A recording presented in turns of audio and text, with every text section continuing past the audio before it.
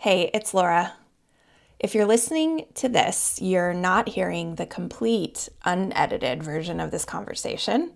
If you want in on that, you can get it by becoming a TMST Plus member. Just head over to our website at tmstpod.com and click support.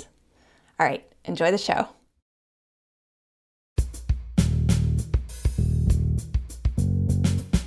Hey, Laura here. This episode is super special to me because it's a conversation with one of my favorite humans, a dear friend in real life, and someone I actually see in the flesh on a regular basis.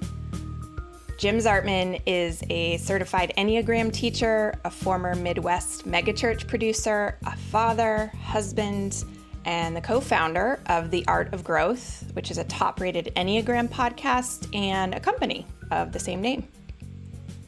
Jim and I met back in 2017 through a Facebook group for people who are attending a Rob Bell event in Boston. I noticed from his posts that he lives one town over from me and was talking about the Enneagram, which I'd recently become obsessed with. Soon after, I met up with him and his wife for breakfast, and before we parted that day, I said something like, Okay, so we are going to be friends, right?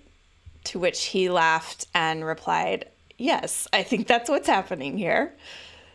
And as you'll hear, Jim's been a huge part of my life since then. He's one of those friends who truly does want what's best for me and can often see what I'm growing into before I can. Jim's become an honorary member of my sobriety community, the Luckiest Club, as our resident Enneagram teacher. And when I invited him to present at our leadership retreat earlier this summer, he walked us through a new concept he'd been chewing on. We were all blown away, and I didn't stop thinking about it for weeks. So I brought him on the show to talk about it in more depth so you could hear it all too. I guess you could call it a relational energy framework. Uh, it describes the main types of energy we tend to bring into our interactions with other people. And as with all tendencies, they're usually unconscious, and without knowing, they can get us stuck in some really painful patterns. But Jim introduces a fourth type of energy called with energy, and it provides a way to a much different place. Just naming these types of energy has already changed the way I show up in some of my relationships, especially ones where I feel like I want to fix something or someone, which is far more often than I'd like to admit. If you struggle with painful patterns in your own relationships, and let's be honest, who doesn't? This conversation is going to be super helpful and possibly a little cringy. But as Jim will tell you, shame has no purpose here. So rest in the energy of compassion and grace and possibility while you listen. If you want to talk about the episode after you listen, join our free community at tmstpod.com. All right, enjoy.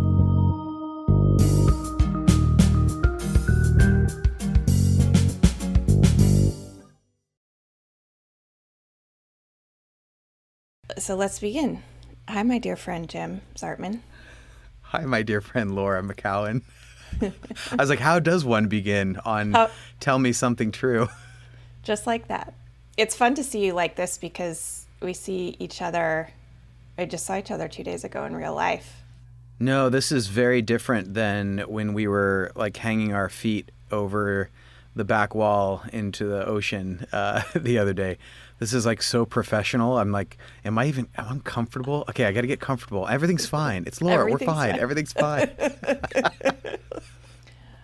so I want to start by having you take us through your career, your work path. And I know you're like me, where it it's hard to get in in under five minutes because there's so many twists and turns and I, I want people to get a sense of who you are and how you arrived at this where you are with work today. So start maybe with the the church days.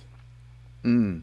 I'll go back even further. I'll go back Sure. to my very first job where I was landscaping for the cutest girl in the class, her family. And all day I listened to soundtracks and like listening was always my favorite thing. I just love auditory absorption. And then when I was 19 and I moved to Philadelphia and I worked as a janitor in a hotel and I listened to audiobooks like endlessly for a year. And it set me on this path of just being, oh my goodness, life is fascinating and I want to learn as much as I can. And because I grew up in the church world, I kind of consider myself a survivor of Christian fundamentalism in the West. And it's a mm-hmm. very specific thing. And that was the world I knew, so that's the world I gave myself to.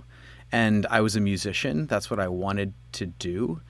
And so I had this decision when I was 17 that I am going to sort of hit the peak of whatever that world is. And 10 years later, I was standing on stage in a 6,000 person church with the jumbotrons and the mics and leading the, these large bands. And then I remember just starting to have more and more questions. And then I kept running into things that that just didn't make sense. And certain things started not making as much sense to me. In the church world? Um, yeah, and and I was not coming in as someone who's like when I say that, I'm not saying someone as someone who is uninformed. But I sort of had these overlapping experiences where certain things were not squaring. Around the same time, we had like the 25 year anniversary of this church, and so we all gathered in one place at one time. And Where so was this? This was in Xavier's uh, Xavier University's stadium in Cincinnati, and I remember walking out after playing and going, "Oh, is that it?" It was a weird moment where I just felt let down, Because it I was supposed sure. to be this peak experience, and Yeah. yeah, And for so many people around me, it was. And I think this is the thing that we are all trying to figure out. I don't think it's all about like having some, you know, monumental, like I have to figure out my purpose and then I have to dedicate my life to it and then I have to monetize it. And I just think that whole thing is a trap. Mm. But like, am I applying my energies in the direction that best serves who I naturally am and where I naturally best serve the world? you started in like working in the church world around 17 and then this this peak experience happened around 27 I started leading actually and being on adult bands when I was like 15. Okay. Um, I I, was it I was was going to learn. Yeah, I was going to learn to do sound and they heard me singing at the soundboard and asked me to join the adult band. And then I was first hired in that full on capacity at 27 and I was it. there until my uh, mid 30s. But it was like, yeah, my early 30s I had that experience and it was like this moment that I think a lot of us face where we're going, oh no, what does this mean? Like my life was like about, you know, having this family and all of a sudden my family is coming apart. My life was all about this career and it's not the right career. My life was all about this mission and I think I adopted someone else's mission. yeah you you invested everything into it and it's you have this very terrifying moment of disillusion because Oh. well shit if it's not this then then what and what does that mean what do i do now so what happened after that when you what happened because you Yeah, were married make- at that point and Yeah. So uh, my wife and I have been married for this this year's 17 years. At least that part of my life has always been really good and really made sense. But to make a long story short, there was something about moving to Boston that my whole body settled. And I think I was too contentious for my environment in Ohio. A lot of times people mm-hmm. don't pay enough attention to their bodies. And your body is the part when you're in someone's presence, like I'm comfortable in this person's presence. In this work, I feel solid in this work in my body. we don't even talk about that in culturally it's societally of like how does this feel to your body you know? If you're not in yoga circles or you're not in you know certain circles where where we acknowledge this it's like is this a logical decision? Does it make sense? Does it Yeah. you know is it part of your project plan? You know, in the Enneagram, we talk about there being three centers the body, the heart, and the head, and how, you know, you had a body first. Like in the beginning, you had a body. And then if you've been around small kids, they are these bodies with all these emotions just flailing about. The head doesn't fully function as far as your whole prefrontal cortex functioning fully until your mid 20s. But the head comes on and we rely on it for everything. And we think information will matter. But information is not transformation, information is not curative. Just because you know doesn't mean you actually change. I mean, there's tons of people that know everything and are doing nothing about it. So much right. matters. right, yeah and, and if you're a type like me like a like a seven where you i'm like just give me more information. I know that will fix it. I mean you said to me once like no you actually have to feel your feelings not just think them. I was like what? Fuck you. It was like this mind blown moment. So the so, goal so- of my life is to get people to say to me, "Fuck you," in uh, a good well, way. You've you've gotten me to do that many times. Lu- luckily, it's it's what I love. Yeah, the way good truth feels, and I've had this happen to me so often, is there's a confrontational aspect to it, there's a challenge aspect to it, but it can only come through in that way because you know that person is like in your corner or like wants your best and yeah that i think the energy can only kind of come through in that regard Yeah. and so it's a it's a beautiful it's a beautiful moment I say that you know, dishonesty, or I suppose you could say untruth, feels uncomfortable but confining. And when we hear the truth, it also feels uncomfortable but expansive. Yeah Right. You know, Oh, you that's so know the difference when you feel it. Both things are uncomfortable, but one is one's expansive. So back to the journey. So you took a trip to Boston. Your body was like, yes. Yeah, and you know when we started when we started working together, and Joel was really on the edge of burnout, and that's his kind of story to tell. But we stumbled into the Enneagram, and he did it because he was in burnout, and I did it because I thought it would help me understand other people better. Mm-hmm. And then I was confronted with myself, which I think happens to a lot of people. We will go into something often not even for the right reasons. Like I think that's happened to me a lot. I've gone into something for the wrong reasons and then I am confronted in the process and that confrontation is a beautiful one.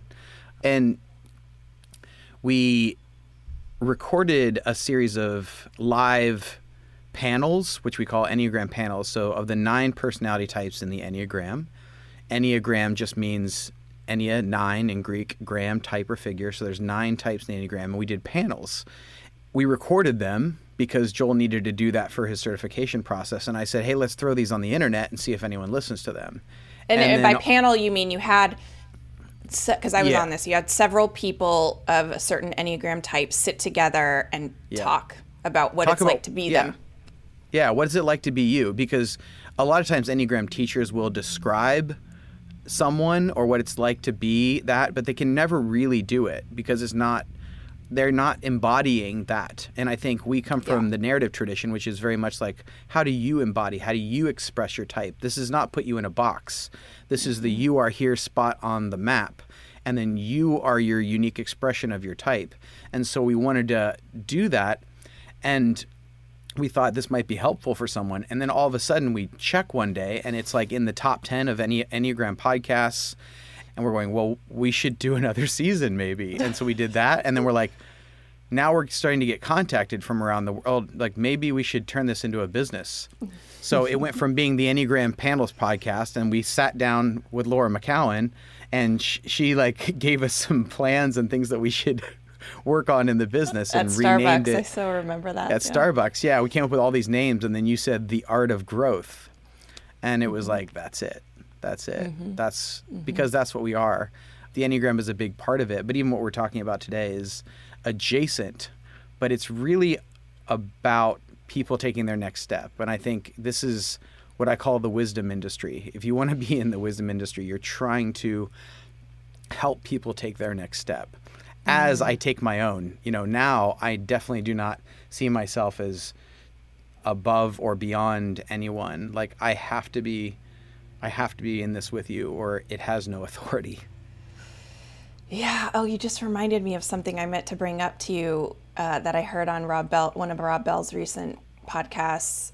One of my favorite episodes he's ever done is "Everyone is Looking for You," and he, he talks about that Jesus's ability to have compassion for the people around him was in direct was in direct relationship or direct proportion to his ability to understand to know what he needs he himself needs. And that required him to have boundaries. The central part of the story in that podcast was jesus was at in a certain town you know had provided a sermon the night before. Tons of people were you know there and it was a big success and and people were knocking on the door all throughout the night and the morning saying we need you again. We we have questions. We want this. They were going to his his um i don't know what the the right His name disciples. is but his yeah but they were going to his like he has a he has a team around Yeah. him Yeah, the team disci- of disciples. Yeah. Okay, so he has a- he was like 30 years old, and then when a rabbi is like 30 years old, they'll have a bunch of people who are like late teens, early 20s, Yeah. who kind of are learning from them, and they also kind of um, manage the time of of the teacher. Yes, and so after Yeah, yeah. this is actually in Mark one, and Jesus is. Uh, you know, oh, he's just done all this incredible healing and speaking and all this stuff, and then it, the morning comes and yeah everyone's looking for you. yes the next morning everyone's looking for him and his disciples are freaking out like hello we need to give them more we have to give Yeah. them more right and so mark comes Crowds to are him ready and to go. Let's do it. Car- mark comes success. to him and, Let's s- do and says uh, "Hey- hey everyone is looking for you and all jesus says is like oh, yeah let's go to the next town We're, come on let's go doesn't even respond to him doesn't even Right. you know acknowledge that other people you know everyone's looking for him I think what a lot of people, when they talk about this Christ figure, is so many people, when they talk about the divine, it's an external entity or power or energy. It is Yes. something other than. It is the interventionist God that's out there somewhere that I want to come and fix this thing over here. And what the Christ embodies is the incarnate, which is the God within. What if the divine is embodied in all of us and we all have an obligation of what to do with that energy within us? It pulls away from dogma, but it definitely pulls us towards a responsiveness instead of a reactiveness. And that's what Jesus is doing in that story. He's going, no, no there's a lot of agendas and there will always be a lot of agendas mm-hmm. and we have to be clearer and clearer on our no so that we mm-hmm. can live our fullest yes but it's not coming from a place of I'm better than you. I'm detached from this. And and uh, to bring it back around to the work in the Enneagram, what you found, I th- I think because I was there for this part of your journey, Yeah. what started to light you up was being in a room with these different types and experiencing their energy and their what it's like to be them firsthand. Yeah. well what's it's so funny because i think we all sort of inherently believe that we are normal and everyone else is some aberration of normal like w- w- this is what normal looks like and then there's these other versions that are not quite normal or we project our thing onto them right so we go in one of those two directions and sitting in these rooms with like a room full of people that are not like me and going wow they are wholly other. And I mean that in all of the different ways you can mean the word holy. Wholly and completely, and holy as in wow, holy other. Mm-hmm. And I love that. I think I fell in love with people in a way that I never had before. And I wasn't as angry or frustrated by where other people were at because of my type and my Enneagram, my own story. My energy came from being angry or mm-hmm. caffeinated. And when I ran out of anger, I was really exhausted. And then I had to find a different energy to walk with. So that evolved into what is now the art of growth. What is it? What is the work? Yeah. That's the that's the continually evolving question. And I have to ask myself that question all the time, which is what do I want to see more of in the world? I want people to be fully seen, like all of it. All of it has to be seen. Mm-hmm. Welcomed as such, mm-hmm. with no shame or fear or anger or any of that, just welcomed and empowered to go towards the direction I often refer to like that redeemed version of yourself that's calling out to you to move towards it. Mm-hmm. And if I can do that with my life, that is a day well spent. And often it happens in the in the minuscule and the mundane, but that's all part of it. Yeah. The dirty enlightenment, as you know I call it. Dirty enlightenment. yeah. Well, you you are doing that. I mean, you do do that. Both you know in your work i've seen you do the actual work which we're going to get into next but it personally i mean that's who you are that's who you've been yeah. to me for sure you mm. you have been one of the very few people that in my life that calls the the absolute best version of me forward and doesn't mm. at all shame me for being wherever i am that loves that too mm. yeah i mean i don't like shame anymore. Like being raised in the church, it's something that I was all too familiar with. But I now am very familiar with the fact that shame it just gives that illusion of moral advancement without any of its benefits.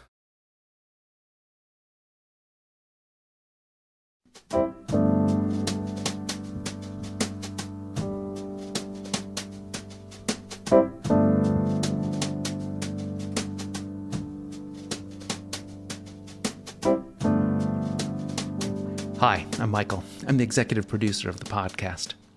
At TMST, we're passionate about having conversations that bring us together and help us stoke our love of life. That's why we created a dedicated site for the show.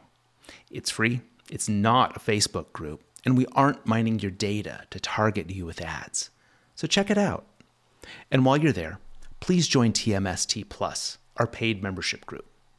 TMST Plus members will play the critical role in keeping this going and ad free. There are no corporations backing us, there's no advertisers. I mean, it's really up to us to pull together and make it happen. You can make a one time contribution, or you can join our monthly program where you can help shape the show, hear the complete unedited interviews, and join regular online experiences with Laura. But know this you can make a huge difference right now for as little as $10 a month. You can find the link in the show description. And then please head over to tmstpod.com right now and join us.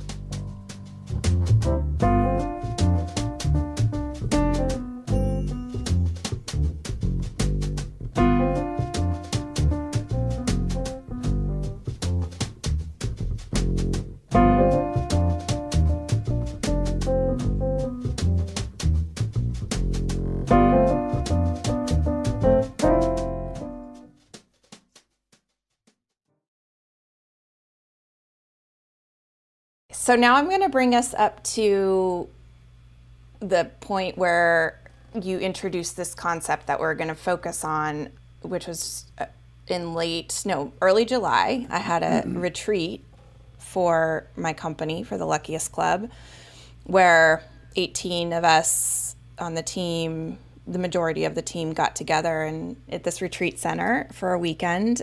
You came and spent time with us and you did a bit of a talk about and one of one of the things that you talked about the whole team was talking about for the rest of the retreat. And mm. I actually hadn't heard you talk about it before.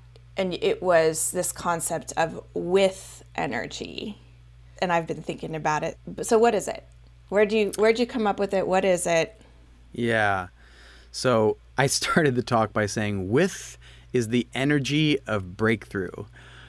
And I saw people kind of like looking at me, and a couple of people writing it down, but being like, okay, where is this going? Why am I writing this down? Right yeah. Why am I writing this down? With energy.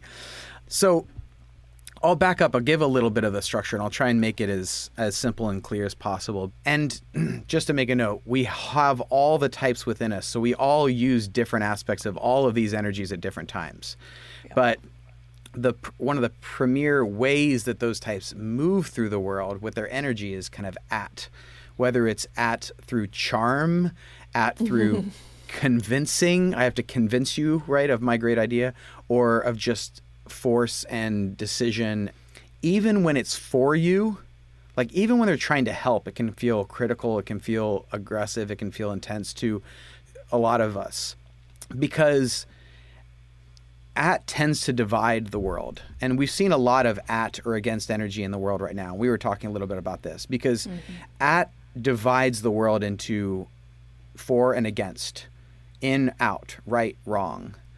And so even when it's trying to help, even when it's trying to it's trying to get you to join the right side or join the right perspective, there's a fear that's motivating this. There's an there's an which creates this anger so that I can feel safer. It becomes force. And so even at the best intentions, even when people are trying to help, if they are applying at energy, if, and we've all seen this, like right. So we've heard someone speaking, and we've just felt this.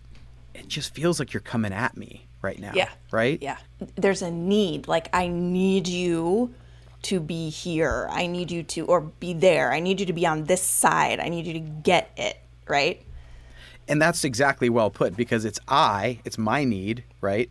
So I'm trying to meet my need. I need you because I am uncomfortable with where you are. I need yep. you to be where I am.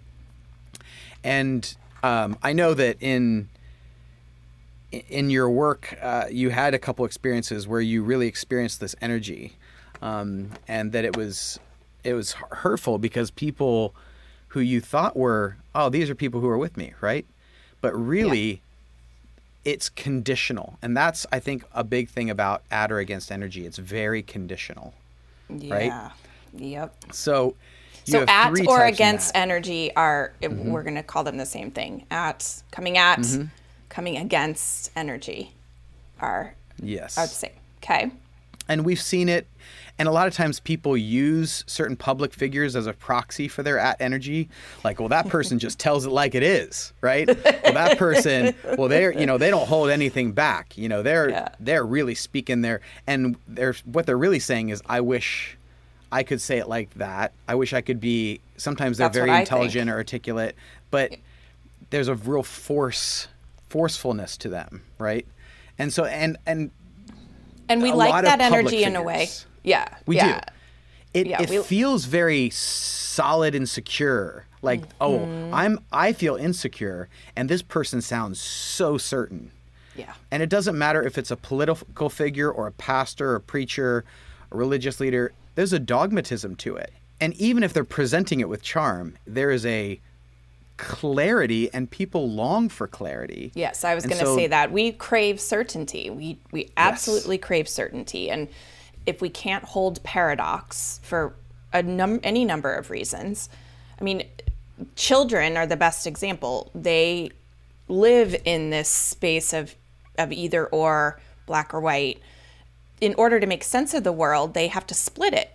This is yeah. good, this is bad. And, and it's a natural part of uh, maturation in a way. But a lot of people yeah. stop there and because it's really hard to hold paradox, it's really hard to hold nuance, it's really hard mm. to acknowledge complexity and to allow it to exist. It's confronting, right? And if you think about one of the ways that we, the primary ways we express ourselves and receive information now is online and through social media, it asks a lot of, of the, both the recipient and the person communicating whatever it is to convey nuance. It doesn't work in a meme, right? We, right. I was just going to bring up memes. Yeah. Yeah. We, we want the, the world to be digestible in meme format. And there was a study that I just read where the content that gets the most traction on social media is always confrontational.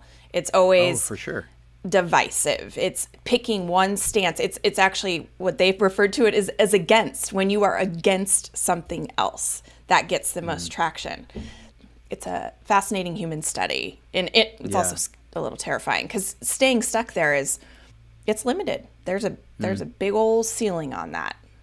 It's the power of noise, even though whispers get sustained through time Mm. But but shouts, they get attention of the moment. You you and, you reminded me of this in a beautiful way with with my work. Yeah. Um, yes, because I was saying that you're doing something like wisdom. It, it tends to have a, a lower frequency level. It's base. It just mm. widens and it, it expands over time. And there was some frustration, as many of us have, with someone who's getting a lot of attention because there are a lot of noise. And it's loud. If it's loud, if it's certain, and if it's against, you can guarantee it'll get attention, at least mm-hmm. for a mm-hmm. minute. Mm-hmm. It's a three minute pop song of a one hit wonder. Yeah. That's how I see it. Yeah. Someone actually once said, in order to start a religion, you don't need a God, but you do need a devil. You need something to be against. And so when we're talking about at or against energy, and and like I said, it's not always with ill intent. We're kind of looking at the negative side of it, but like a lot of times it does have a good intent. It wants to, it's trying to present as certain because it's trying to give people something that they're craving. Yeah. And if someone like feels that level of certainty, then it feels secure to others. And I get it. I, get I it. totally get it. I mean, I've been in that place before. It's the most acute or sort of bright example in the in recent history is how I had to be with sobriety. When you first yeah. start, it's like you have to push so hard to have the boundary out and have it well defined. And this is good for me, this is bad for me.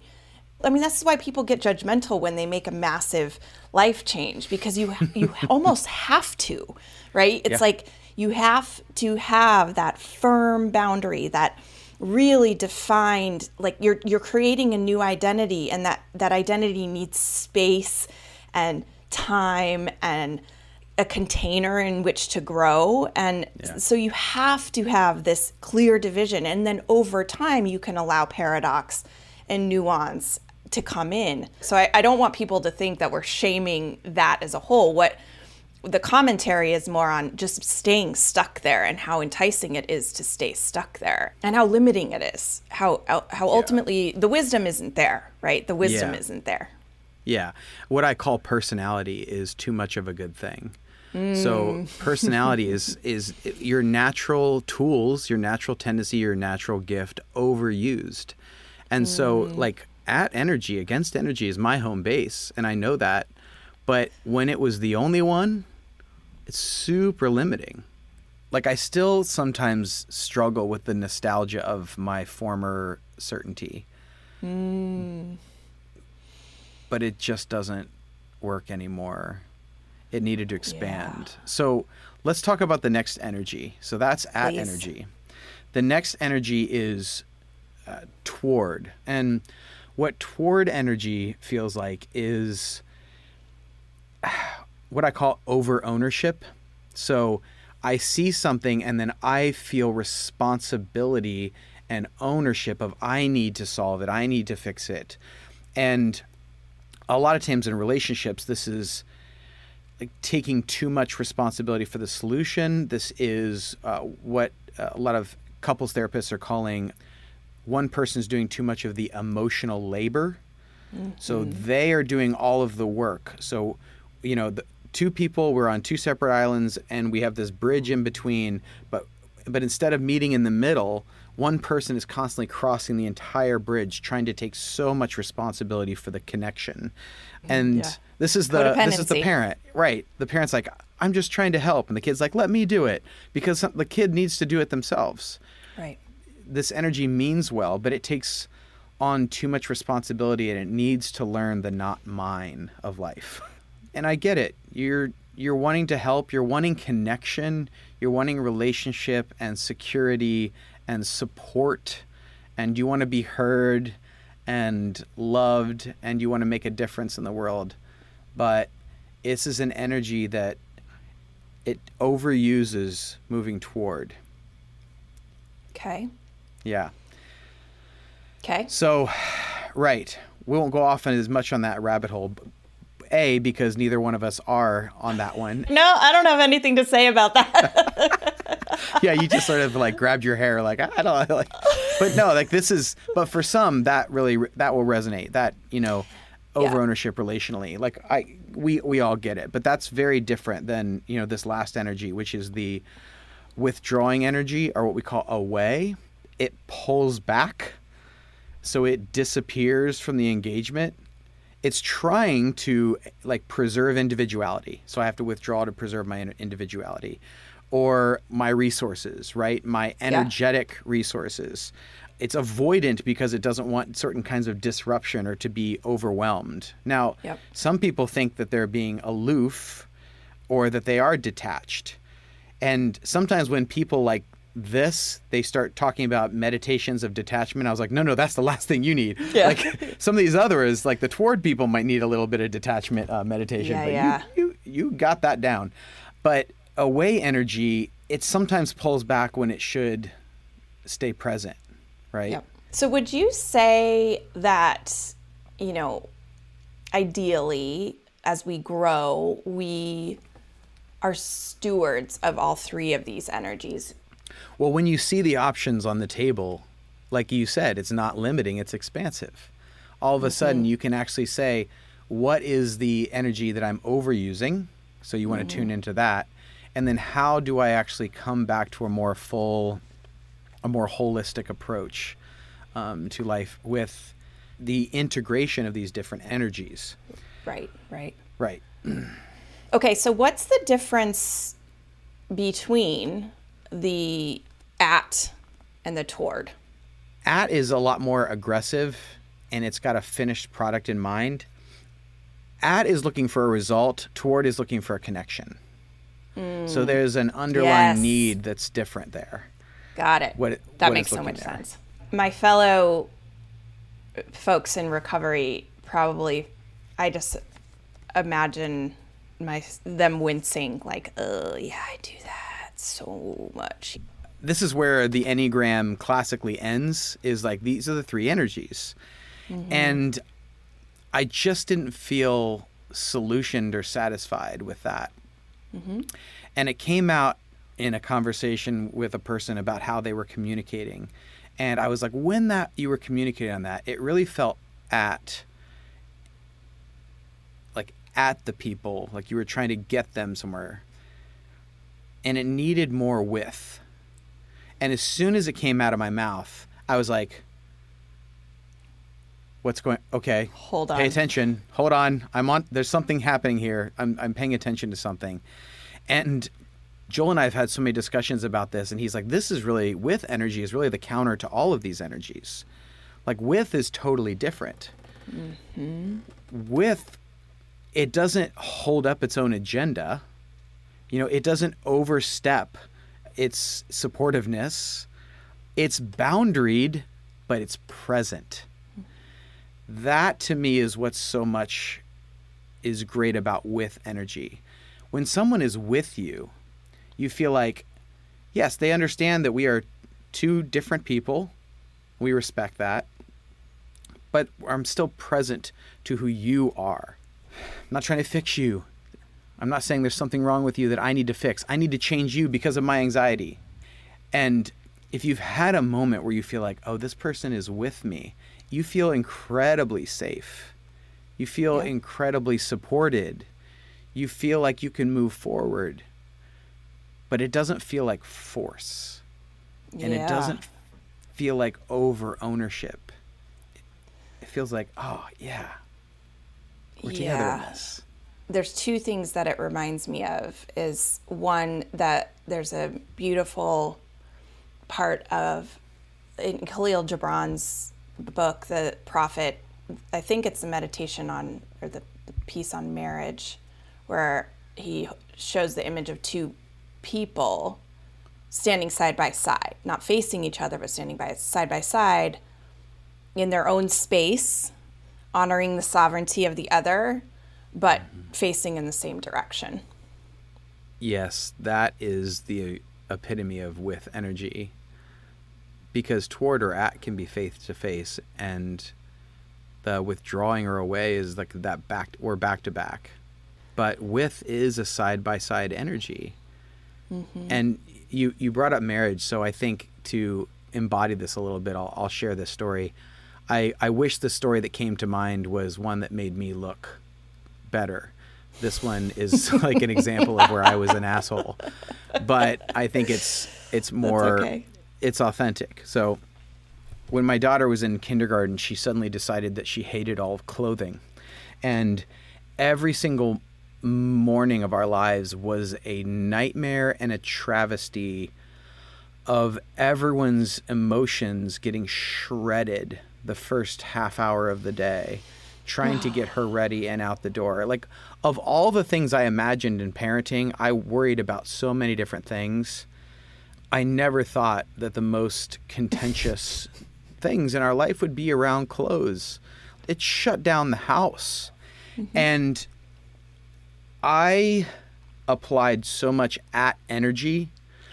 So my wife is very chill, very peaceful. You use the phrase for her strong, a strong force, and that is really that that's Soft really accurate. force, soft a force. soft force. Yes, a soft force. Yeah. she is a soft force, and that is very accurate. But she's very kind of she's very sweet. She doesn't like have real highs and lows. She's pretty chill. My daughter is very intense, so she's a little bit more like me. And I remember this one day, I don't even know what happened. I don't remember at the time. I just know it was awful. And I felt levels of anger that I have not felt since I was a teenager. And I'm taking Vera to school. I'm walking her to school. And usually, even if it had been bad in the morning, we would sort of work it out and we'd like apologize and talk and we'll try this better tomorrow. And we would have that conversation and we try to repair on the way to school that day there was none of that like i was frozen ice. I was made of brick and stone in that moment. It was force versus force but i'm bigger and stronger and scarier as dad. Mm-hmm. And i was just wanted the result. Like we have to get to school on time. And it felt so awful walking her to school, but I wasn't feeling anything at that moment except for the anger. And so I walked her there. She went in, and I just started walking. I didn't go home. I just started walking the neighborhood. And then, then not only the anger was present, but then the shame comes up of like, why can't I handle this better? Like, what could I do? I felt trying to come up with different solutions, but feeling so disempowered in my head. And so I'm feeling all of this anger, like all this fear that what's going to happen to my kid if she can't even handle getting dressed. Like, and I'm projecting that way out in the future, of course. And then all this shame around how I'm responding. And it's just mounting kind of inside of me. And my wife texted me, and she could have said a lot of things. She could have withdrawn, and she could have confronted me, and she would have been absolutely right. It wouldn't have been helpful, but it would have been right. But she also didn't just try to move toward me like, "Oh, everything's fine," and and I'll like we'll fix this, and like didn't know platitudes on that. I don't remember exactly what she said, but it was, I know that was really hard for you. I know that was really hard on all of us, and I'm with you, and we'll figure this out. Hmm. And the stone and the ice melted away and I just started like crying walking down the street and going that with energy it saved our family that day. Mm-hmm. We could have been contentious all day with each other. It changed the atmosphere in the home because there was no longer this at versus withdrawn versus toward. Like none of that was going on. It was with. And mm-hmm. because she was able to bridge that, she broke me with her love. Mm-hmm. Because that with energy, it isn't ultimately concerned with who's right and who's wrong, but how to move or return. It's about the return to health, about re engaging that connection. And that is the energy I really want to carry so much more. Because when you see the beauty of it, and that's the thing about with energy, you just feel like this is beautiful. Mm. And I mm. think this is what I want for people is like if if we're actually going to have a more grace-filled world, we have to notice these patterns of am I being at, am I being toward, am I withdrawing? And we have to be with. We have to be with each other. You've told me that story before, but I've never heard it slowed down like that. And I, I get it in, in my body. I feel it. It's it's grace. There's mm-hmm. so much mm-hmm. grace in that in that energy. There's so many things held simultaneously at once with the simple statement of I'm with you. Yeah. You know, it holds the grace and the truth together. Like it mm wasn't like let's ignore the truth and pretend something didn't happen. Yes. And it's not like everything is okay, but it held no. grace and truth together. Yeah, you can still there's accountability there. There's you have your part, I have mine. There's no shame. I think that's one of the big pieces of it. You can see as you were talking just how how things fall apart so extraordinarily in personal relationships, marriages, friendships, families, yeah. communities, our culture at large, because we can't seem to embody this with, and we just can't. We can't. We only know what we are for insofar as we know what we're against. Mm. It ends there it takes extraordinary awareness of your own wholeness, meaning your limitations that you that you embody all of it that not, that whatever that other mm-hmm. person doing isn't separate from you right. or something that's not within you right what you said that broke me is she broke me with love in that moment yeah. you know i think love gets this sugar coaty everything's fine, let go. yeah. Excuse all whatever behavior. That's not what that is. That had yeah. there was weight in that. And nobody resists that with energy. It breaks down resistance. You know, we resist the at energy. We resist someone moving toward us like, ah, this is my life. We move we resist when someone is moving away from us because like where are you going that away energy, but with energy, it we don't resist that. It it breaks it, through. It's yeah. so loving. It's so loving because it is boundaried and present. Yeah, and we we we might mistrust it. I know I have. Like really? Especially if you're talking to someone you don't who you expect to be against you, yeah. which is my experience that you meant that you had alluded to. But with is willing to earn trust. With yeah. is willing to earn the trust. Right. And with the the thing I think that's so powerful about it is it acknowledges each other's humanity. We have such low expectations of others. We have such little belief in other people. I don't know if it's a it's a lack of belief in basic goodness what comes to me is that when you come towards someone to fix them with a certain result in mind, which is a lot of what we see online. Yeah, very agenda driven, yes. Yeah.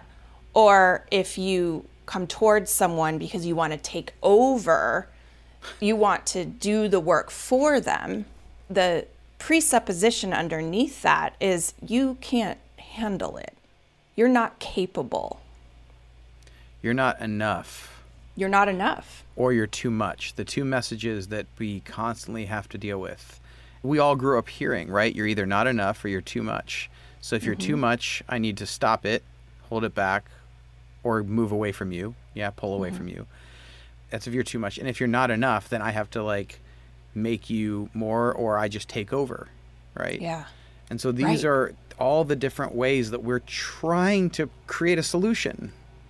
But it's it's a, a solution that is dehumanizing to others.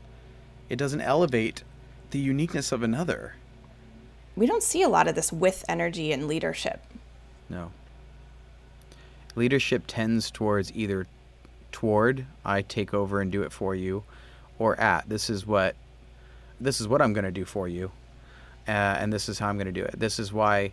Um, with the diminishing of spiritual communities, politics has become the new religion because it has it tries to be all that certainty of the at and the security of the toward, but it removes responsibility from um, all of us. And I really believe we never have any kind of a fulfillment in our lives unless we take radical responsibility, unless mm-hmm. we en- engage with ourselves and we call others to radical responsibility.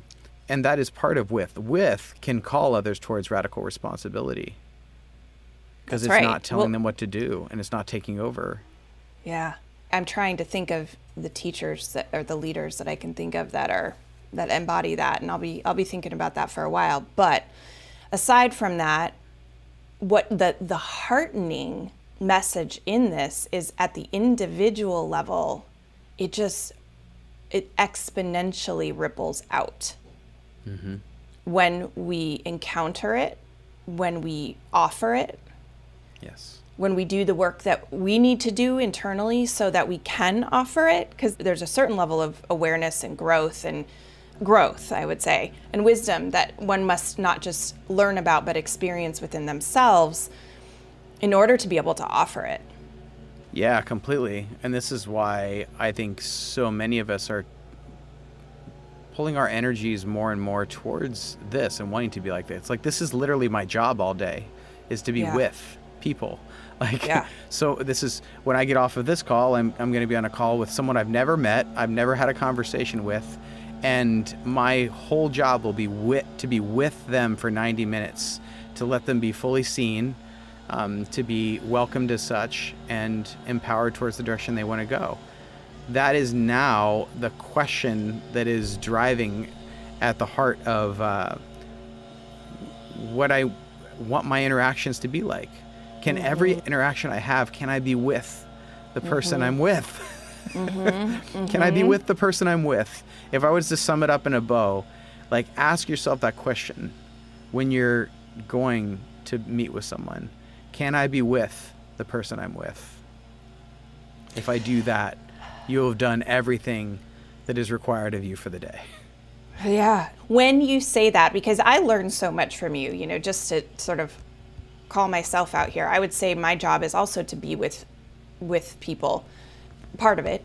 But I watch you be with in that with energy and I learned from that because I I'm very seduced by self-righteousness. I'm very seduced by toward energy and and especially at like very seduced by that. It's that is I would say that you know the the primary energy that has animated me throughout my life is I've got it. I'm going to do it. You you know, this is how it's done. I'm going to give you the answer. Right? But your writing doesn't feel that way. I think people are attracted to your writing because it feels with. Like we are the luckiest. It feels like I am right there with you. You're taking me into your story, but you're allowing me to participate in it. Like I think that's what great writers do. I think great writers they do. Right. I like I'm not observing you. I'm I'm with you. No, totally. I I yeah. No, I agree. And thank you for reflecting that back to me. Like I I the writing does feel like when I when I my writing does feel like with energy and, and when I'm talking about something like you know getting sober where that was, is so humbling i know that experience so deeply in my body that i can speak about it not from a place of intellectual know-how but like from embodied experience right? So mm-hmm. I, it should i hope it feels like with but what i'm talking about is just you know and this is normal. I just want to call it, it is like the reason I'm even bringing this up is when you said, Can I be with the one I'm with? My first thought is, That sounds like an exhausting way to live. but I but I I know that's a certain part of me speaking up because that's actually the toward energy mm. voice, right? Because I think, oh, if I'm with that person, I have to feel everything they're feeling. I have to take it right. on. I have to to provide solutions. I have to and, and that's not what it is, right? That right. is not what it is. It's one of the the most amazing things about Todd is he is he's really good at being with.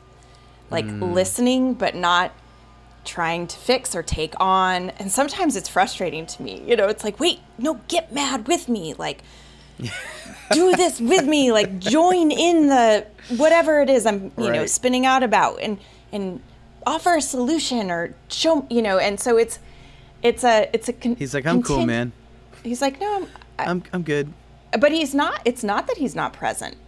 Right. It's he's totally present to it and he'll bring it he's up he's not owning it. He's not owning it.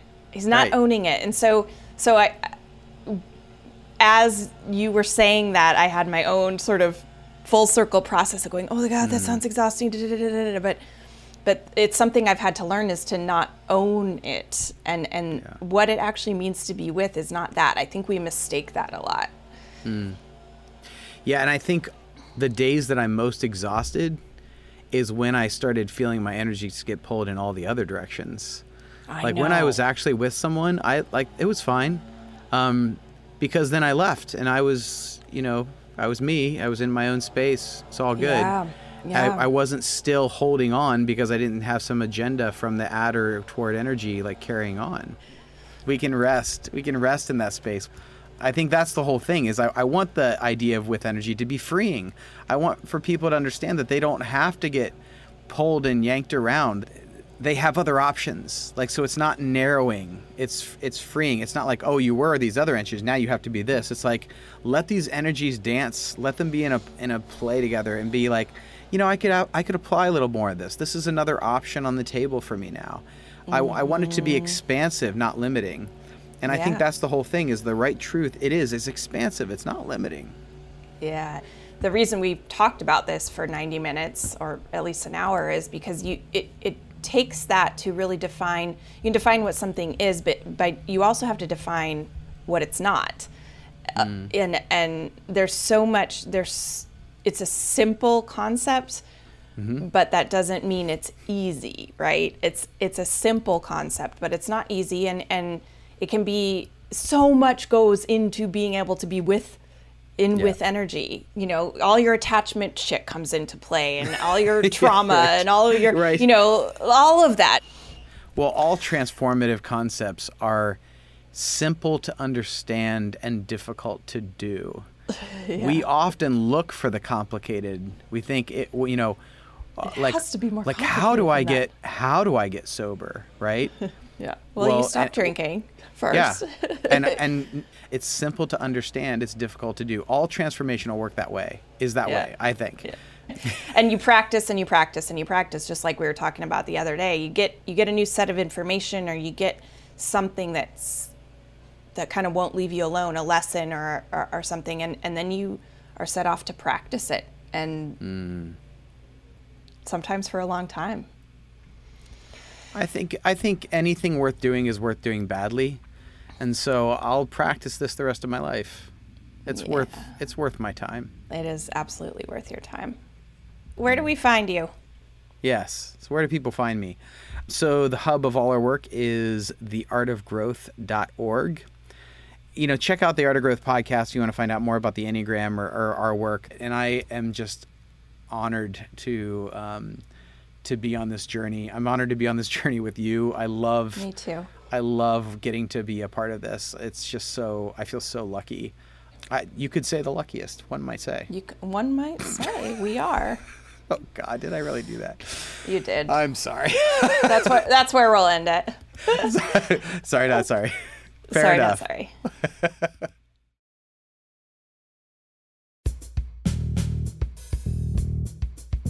Thank you for hanging out with us today. We want every episode of Tell Me Something True to give you something you can use in your life. We also don't want there to be any barriers between us. That's why we built our own online community. It's free, it's not Facebook, and you can head on over to tmstpod.com to connect with folks around this episode. Also, have you noticed there aren't any ads on TMST? That's by design. We want to keep the show and our digital spaces ad free, but that's a goal we can only accomplish if we work together. And that's where you can make a huge difference. TMST is being built as an ad free, subscriber driven project. The subscribing members will play the critical role in keeping this going and keeping it ad free. There are no corporations backing us, no sponsors, so it's really up to us. And the good news is, folks are signing up. Thank you so much to all of you who have come on board for this very unusual way to do things. You can join them when you make a one time contribution or join our monthly program. We have cool opportunities for you to help shape the show, hear the complete unedited interviews, ask our guests questions before they're on, and connect with other TMST folks. I cannot stress this enough. You can make a huge difference for as little as $10 a month. So head on over to tmstpod.com right now.